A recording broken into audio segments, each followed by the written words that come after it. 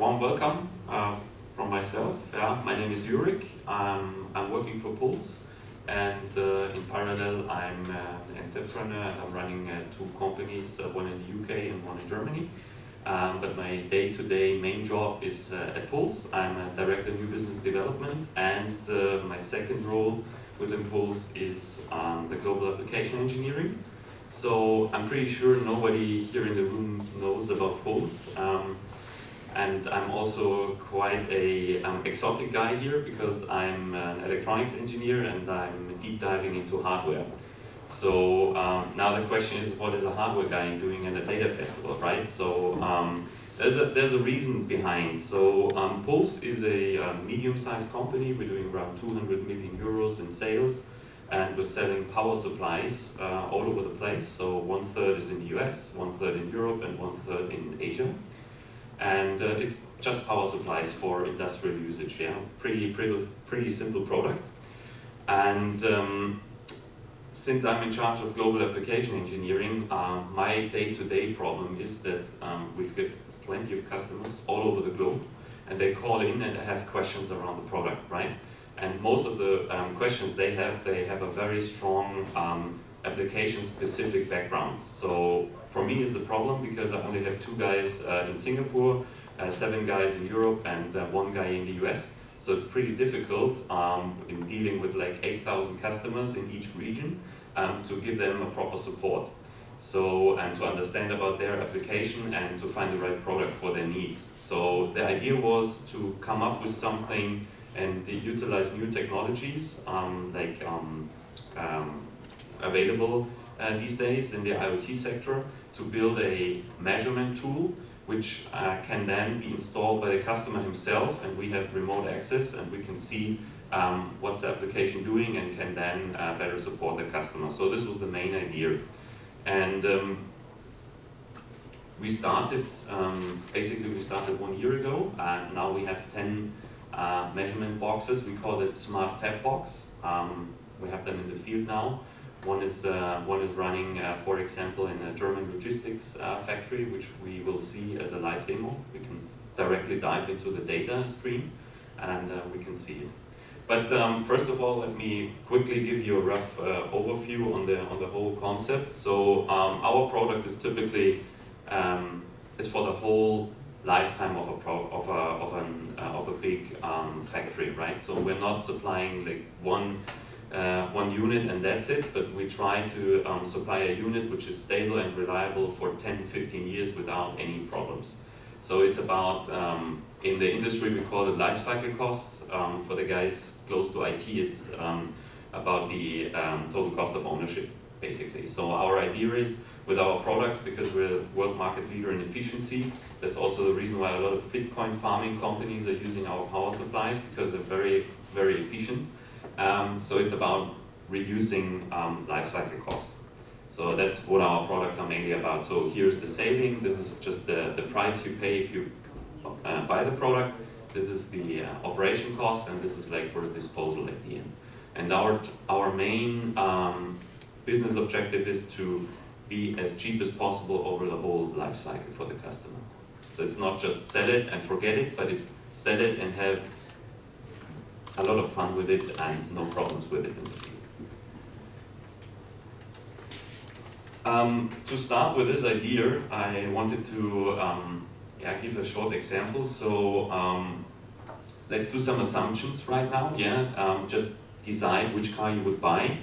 If you um, want to buy a car which you use for the next 10 years and you're doing like 15,000 uh, kilometers per year, so um, yeah, just make up your mind uh, under the life cycle costing perspective, which one would you buy? Which one is your car, right?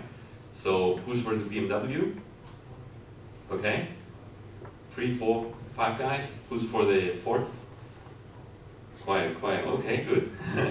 it's dangerous, dangerous guys. You're in Munich. Be careful. but that's that's good. So just keep that in mind. So using the um, life cycle costing uh, approach by the um, German uh, Engineering Association uh, brings us down to this assumption. Um, just based using using all the information which is available in the datasheet. And as we all know, datasheets can be trusted, but it's not a good idea to always trust them, right? Especially if it comes down to cars and emissions. So here you can see. Here you can see uh, the BMW and the Ford. So initial cost, this is what you um, pay the dealer. It's uh, 38 grand or 52. The usage cost per unit is 15,000 and uh, 15,000, so that's um, the, the, the, fuel consumption. Um, since um, the car is 10 years old, I think you can still sell it, so you don't have to scrap it. So there's zero cost for the disposal, which then leads us to the overall life cycle cost. Uh, for the BMW, it's 68,000. For the Ford, it's 53,000. So these are the annual costs um, coming with the car. So um, the guys who pick the Ford, it's the cheapest solution, right? So bad for BMW, but it's uh, that's reality. So it's about you know this this kind of um, approach is what our customers typically do if they decide on a power supply, right? They do the same approach, just get rid of the car and write Puls power supply and some competitor power supply here. It's exactly the same approach. And that's difficult to um, compare because um, especially um, the data sheets and there are a lot of assumptions we make. So we just did the assumption 10 years and 15,000 kilometers. You might drive 20, you might drive 5. Yeah, you don't know. Um, so that's an assumption we have to make. And uh, it's also um, the datasheet information, is it really accurate? Yeah, is the fuel consumption really true? We don't know. So um, this is the problem. And this is exactly um, on the problem our customers have um, when they decide for a power supply. There is a datasheet, there's a datasheet of Puls, there's a datasheet of some competitor. Can I trust the information in the datasheet? And um, yeah, how, how many watts and how many amps do I really need? I don't know. I have to go there, uh, put a multimeter there and measure it. Yeah, and nobody wants to go on shop floor and measure uh, for a couple of days. So this is the problem. And um, this is just another uh, short example um, on how uh, the typical uh, assumptions look like in an application for a power supply. So the customer wants to have a one-phase system, um, for example, and 10 amps or yeah, yeah just 10 years. Um, it's 24-7 usage, um, 20 um, degrees, 35 or minimum 10. 40% uh, relative humidity, um, no special um, requirements, and 20% idling. And this is a very important assumption. We assume 8 um, euro cents per kilowatt hour for the, for the energy cost. So these are typical assumptions. Yeah, my, my customers they do that every day. Yeah, that's uh, that's standard. Um, and if you do a um, approach on the uh, with the data sheet, like exactly the similar setup um, in, with the car, um, you have like our product uh, with the initial cost and uh, another German competitor which is also based in Munich and is uh, delivering power supplies and uh, has also blue color. um, so you can compare, uh, there are different initial costs, but the, the, the main interesting part is the usage costs. Um, so this is the energy which the power supply um, wastes because efficiency yeah, is different like the competitor in this case, they have like 90, 92% uh, efficiency, so 8% are lost in the transition of energy and heat up the whole system. So that's you pay you pay money for heating up something, right? There are losses. And uh, Puls, for example, with 96% uh, efficiency over here. So um, that's on 10 years, that's a big difference. It's 200 bucks um, you pay for a power supply to heat up your your application, but you don't want to pay it because it's just loss. So at the end, if you compare it, um, the product, um, our product might be uh, a little bit higher in the um, purchasing price than the competitor, but at the end, if you compare it on 10 years and on 10,000 units, uh, it's a big difference. It's a, it's a really big difference. And um, again, here we have the problem, we did, the whole calculation is based on assumptions. We don't know how it behaves in reality. So um, you can also do uh, nice and fancy calculations then based on this data. You can just calculate in return of invest. So you pay a little bit extra and does it pay off? So basically um, investing in power supplies, also especially if you into, into hardware and um, empowering big server parks, um, this is a this is a very good uh, way in investing money. Just invest in the efficiency. You get a better return rate than you have in um, than uh, you have in uh, if you put the money in the bank. So, okay, the challenges are clear. I think you uh, understood the whole setup and the problem uh, I'm in on a daily uh, basis. So, the challenge is we have no exact knowledge about the load profiles. Yeah, we don't know how many kilometers the customer uh, is running his car. We don't know how many amps he really needs. And uh, there is little trust in calculations um, based on data sheets, etc. That's the problem. So we came up with a Puls Smart Fab Box, which is a, um, looks like this. It's a pretty unspecular box, but you can do a lot of things with it. It comes, um, you can measure literally everything. So you can measure up to 64 channels. So you can measure speed, you have GPS data, you can measure vibration, you can measure sound, you can, you can do everything with it. And uh, we're using it to measure um, current and voltage, of course, because we're a power company, but you could do anything else with this box. The box is pretty cheap, it's less than 2,000 euros and it works uh, globally. So you can get one box and you can send it to Singapore, it will just, you plug it in, you power it up and it will automatically register in the cloud and send the data straight away with a latency of less than one second. And it's working in the US, it's working in Singapore, it's also working in China. Uh, we still have a little bit of VPN topics there um, because it's um, for remote maintenance, we're using VPN channels. That's a little bit challenging in China these days, but um, yeah. So that's the, that's the box and how it looks like. And um, yeah, it's pretty cheap, it works everywhere. So uh, it's for us, it's an open source tool. So whenever somebody has an interest and wants to try it in his application or wants to use it, just drop me a call, you can get one and work with it. It's uh, also the source code which is implemented, we're using Python, we're using Node-RED, and, uh, but the, the, the, data channel is based on uh, MQTT, so we call that uh, RTDC, it's a real-time data channel. So uh, you can use that infrastructure straight away. The data, by the way, is uh, sent to a cloud, which is not hosted by Amazon, it's a local cloud by, uh, by a leading um, provider near Hanover. So the data is stored there and um, you will then have an, an online um, website, www.loadprofiling.com or www.powersupply.cloud and you can register there and you have immediate access to your data. You can then run your Python script, you can uh, interact with any other um, system like R or Tableau, that's no problem. You can directly log onto the data in the cloud, they're stored in RAW, and then you can work and analyze the data. So this is uh, the, the setup. Um, if you don't uh, if you don't have LTE or 3G, you can also use a standard Ethernet cable. This is also working. The whole system is running on embedded Linux, um, so we did a small um, embedded PC for this system and it works perfect. It's stable.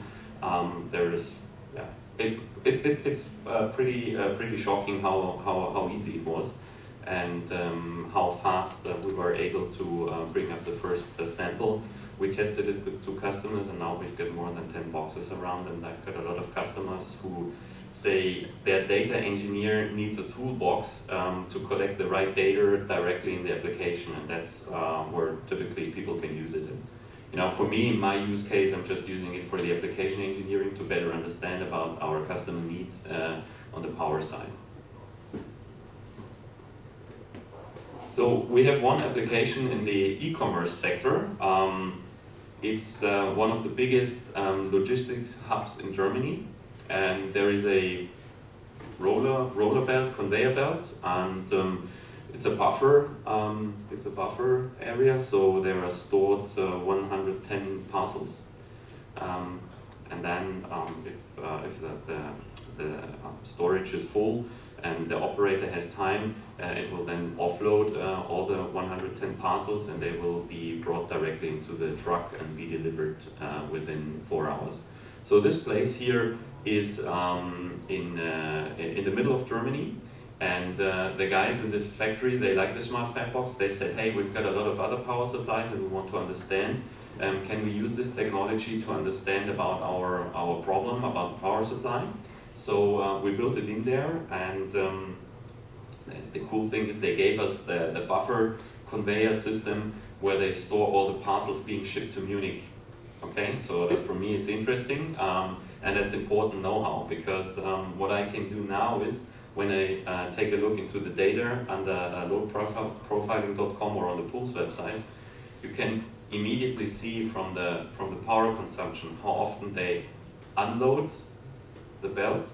So it's easy. Um, I can just calculate. Uh, for example, in average, they're unloading four times a day. So I know they're dispatching 440 parcels to Munich within four hours. So this is just by just by taking a look at the power consumption. Um, every load has an individual fingerprint, and um, our system detects the fingerprint of the load, and we can then automatically um, see if everything is all right. For example, um, if you have in one of these drives here, if you have um, if it's bumpy, yeah, and it's um, you will see that as a sinus in the data. So you will, uh, we're just running a small, um, that's, that's one of the projects we're doing right now. We're running TensorFlow and we built in the embedded computer, a very small, efficient uh, embedded computer. We are building it into the power supply and uh, we're uh, migrating TensorFlow on it. So, and it does a small uh, FFT online. So all the data coming uh, from, the, from the load is run through an FFT and we automatically see if there are some frequencies. So if we, for example, if we have like 700, 700 hertz, we immediately uh, can tell you which one of the 32 motors has a problem. We can detect it and we can find out long, long, long before it breaks. But we can, we can see that. And um, these are like the potential use cases which we're working on right now. And uh, in this use case, um, the customer wanted to understand, has he chosen the right power supply? And uh, is there a saving potential for him? And um, we can we can quickly go on the website here. Um, let me see if it is working. What is the problem with two screens? Um, just give me one second. Go over here.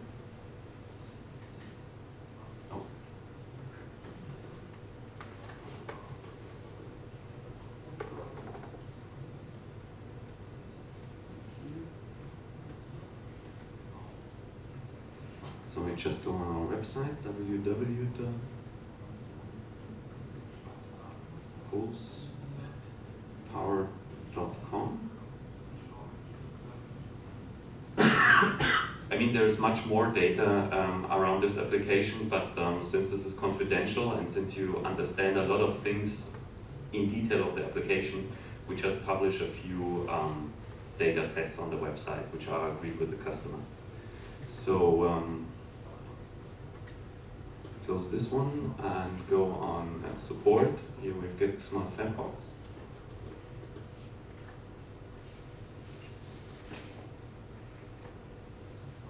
And um, the cool thing about this, uh, the dashboard, um, is that we can easily integrate the dashboard into other websites. So that's pretty easy. That can be done literally in five minutes, and then you have a dashboard, and you can configure it in the way you want it, and can just integrate it into any any random uh, uh, CDN.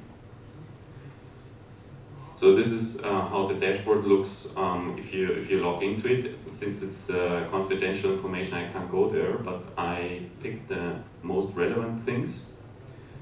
So um, right here, what we see right now is they're in maintenance mode, so they're not running it right now.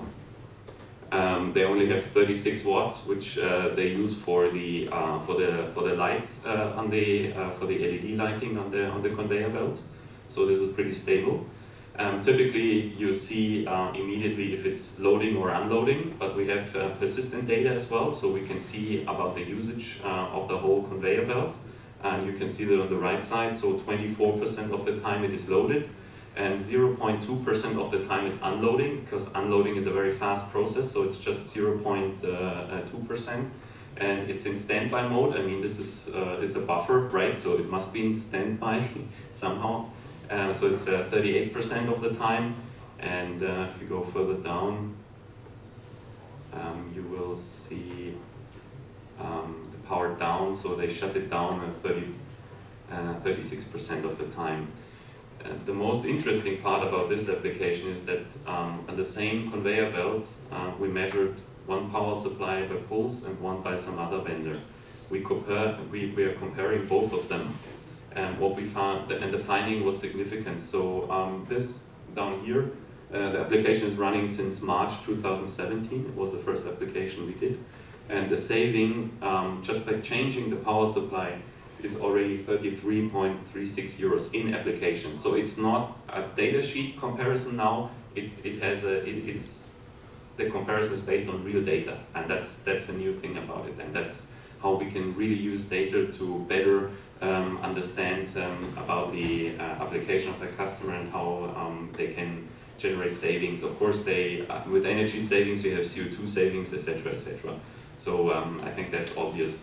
Another very interesting finding, and that's uh, I consider it as the the best finding of the whole setup here was um, we found out that the peak load used by the conveyor belt is 400 watts and uh, our competitor sold a one kilowatt power supply to the customer, right? And they, they need a lot of uh, power supplies, just to give you a feeling, it's uh, 32 kilometers of conveyor belt and every 10 meters is a power supply. So they've got plenty of power supplies in the conveyor system and well, the, the competitor in Munich did a great job. They sold him a one kilowatt device, which is double the price uh, of a 400 watt device. So the first learning was you can buy a much cheaper power supply and uh, if you switch to another vendor you can also uh, generate more savings than uh, 33 euros per year um, just with one device and the price difference um, if you compare 40M to 40M was just 5 euros right so the customer paid 5 euros less for the competitor than for us but now he has not uh, there, there, there, would be no chance to um, realize the saving so um, yeah, I think we're coming to the end. So that was just a, a, a, short overview. You can always go on the website and see what's what's happening. Um, I think when the, the, when the maintenance is done, which I think should be um, this this evening, so tomorrow in the morning shift, it should be operational again. So you can log on to this website and you can see how many, and you can calculate by by your own how many parcels they will deliver to Munich in the next four hours. So um, yeah, thanks for your attention. Again, you know, uh, you've seen I'm, I'm, a hardware guy. I'm not deeply into uh, data science, but I consider this uh, very interesting. And I think um, for us Puls, the, the most important aspect about data science is finding, asking the right questions, and then um, finding projects where you can really use data to generate uh, a value out of it. And that's that's the, the main thing. It's easy to collect plenty of data but it's about asking the right questions and where do I want to improve and how can I use new technologies for it. And that's uh, what, what, we're doing. So thanks for your attention. Have a, have a nice uh, uh, show. And uh, yeah, if there are questions, I'm happy uh, to answer them and I'm here the whole day. Thank you. From Puls, uh, what are your questions? Do you have any?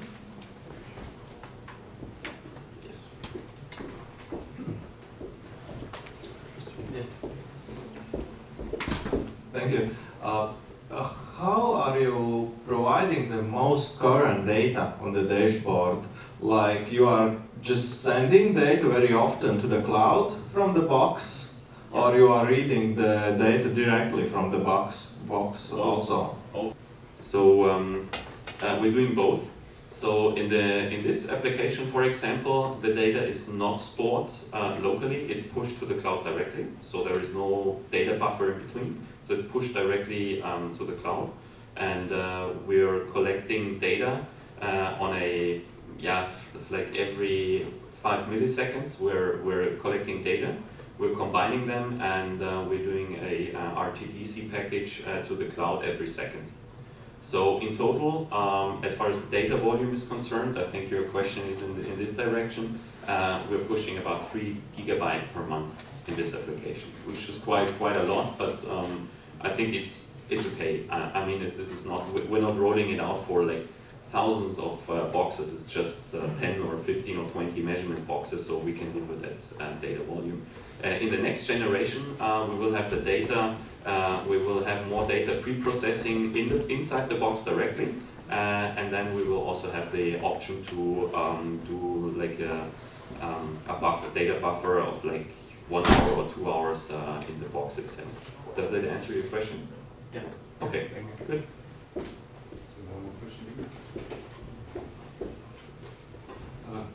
as I also come from the process industry, typical time series data often is stored in something like OSI PI, Yes. time series things. What was the decision you did it not and you did store in the database?